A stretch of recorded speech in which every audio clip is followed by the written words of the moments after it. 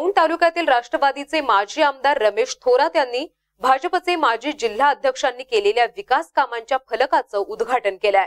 त्यामुळे रमेश थोरात भाजप की सेनेचा झेंडा हाती घेणार याबद्दल सोशल मीडियावर कार्यकर्त्यांमध्ये चर्चेला उधाण आलं होतं. मात्र रमेश थोरात यांनी मी पक्षांतर करणार नसून सोशल मीडियावर या सर्व अफवा असल्याचं स्पष्टीकरण दिलंय. याबाबत अधिक माहिती देत आहेत आमचे प्रतिनिधी सुशांत जगताप. आपण पाहूयात.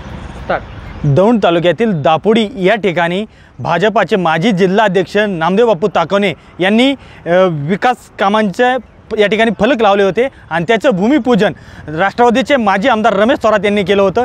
यामुळे आता हे फोटो सोशल मीडियावरती व्हायरल होत आहेत. त्यामुळे आता सोशल मीडियावरती माज राष्ट्रवादीचे माजी आमदार रा भाजपमध्ये जाणार की शिवसेनेत जाणार यावरती आता प्रश्नचिन्ह उभं राहिलेलं आहे. यामुळे आता सोशल मीडियावरती या चर्चेला उधाण आलेलं आहे. कॅमेरामॅन मनस्वामी सुशांत जगताप दौंड पुणे.